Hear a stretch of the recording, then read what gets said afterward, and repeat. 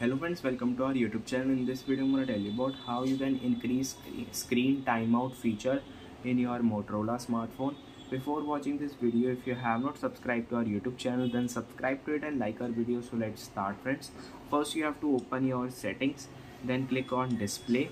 Here it is screen timeout feature. You have to click on it. Click on 2 minutes or 5 minutes after 2 minutes or 5 minutes your screen will be turned off automatically.